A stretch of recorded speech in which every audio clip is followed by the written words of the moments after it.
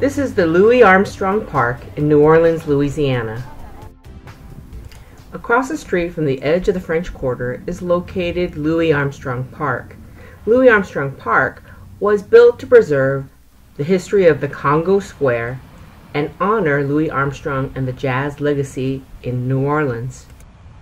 Look for the arched main entrance. It's one of the most Instagrammable sites in New Orleans. In this video, we'll provide directions, what to see, parking, and tips from our own experience. Welcome to HipFig. If you're a travel enthusiast, then join our community by subscribing to this channel. Please like this video and write a comment. We really want to hear from you so that we can keep improving our content. This is the New Orleans, Louisiana Travel Guide series. This episode is the Louis Armstrong Park Travel Guide. Louis Armstrong Park is a 31 acre park in the Treme neighborhood surrounded by St. Philip Street, Rampart Street, Basin Street, St. Peter Street, and North Villere Street. The main arched entrance, which leads into the Congo Square, is along North Rampart Street. It's literally across from the edge of the French Quarter. It's located at 701 North Rampart Street, New Orleans. Parking in this area is by metered street parking or paid parking lots. We got lucky and found metered street parking on St. Peter Street and Essence Way. All metered parking except credit cards. If you're at a parking lot, particularly premium, they usually will need an app to download and then uh, pay for parking with your credit card. From our parking spot, it was a quick walk to the front of Louis Armstrong Park.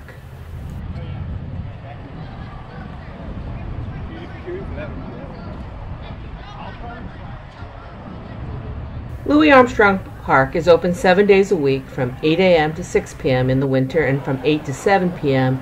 during daylight savings time. Once at the iconic iron gates of the park, we of course took pictures in front of it. The iconic white metal arch is designed in the postmodernist style and reminiscent of the entryway of the Tivoli Gardens. This gate opens to a wide walkway that separates Congo Square to the south and the newer sections of the park to the north. The Louis Armstrong Park was designed by New Orleans architect Robin Riley and was named after New Orleans born jazz legend Louis Armstrong. The park also pays tribute to jazz and African American history in New Orleans. This park is registered as a National Historic Place. On the left hand side, as you enter from the main gates of the park, is located the historic Congo Square. Formerly known as Place des Nègres, it took the name from a tradition of enslaved people who gathered there on Sundays on their one day off. Enslaved people gathered together here to sing, beat drums, sell homemade goods, celebrate, and even escape from slavery. They did not walk away, they did not run away, they sashayed away saying, Bonjour, madame, bonjour, monsieur, as they politely sashayed away from slavery. Before the Africans escaped out of Congo Square. Congo Square was significant to African American history, music, and spiritual practice in New Orleans.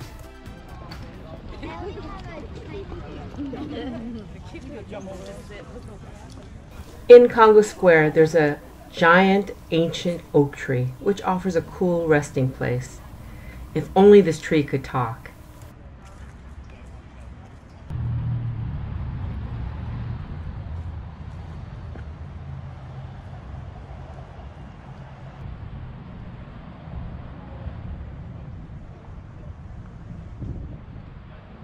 Behind the Congo is the Municipal Auditorium built in 1930. It's best known for its Mardi Gras krewe balls.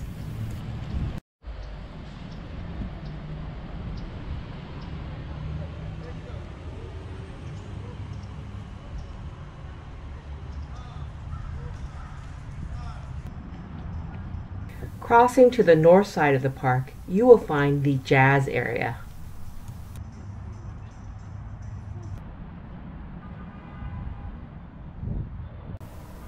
Located along the lagoon is the Louis Armstrong larger than life 12 foot statue created by Elizabeth Catlett. This jazz area pays tribute to the king of jazz, Louis Armstrong, as well as other important jazz figures and musicians like Sidney Bechet, clarinist, and trumpeter Buddy Bolden. Beyond the pond is a tribute to Mahalia Jackson, considered the greatest gospel singer of the 20th century. She's honored in a modern sculpture and adjacent to the Mahalia Jackson Theater for the Performing Arts. There are also several buildings owned by the New Orleans Jazz National Historic Park. Like the Perseverance Hall Masonic Lodge Number 4, which is across the lagoon to the east. New Orleans is widely recognized as the birthplace of jazz, and the sites and structures associated with the early history of jazz remains in this park, as well as the city. The park also has a French opera house, sculpture promenade, Louis Armstrong Sculpture Garden, Jazz Compound, Rose Garden, and a lagoon in the center of the park. This attraction will take you 30 minutes or more depending on your interest.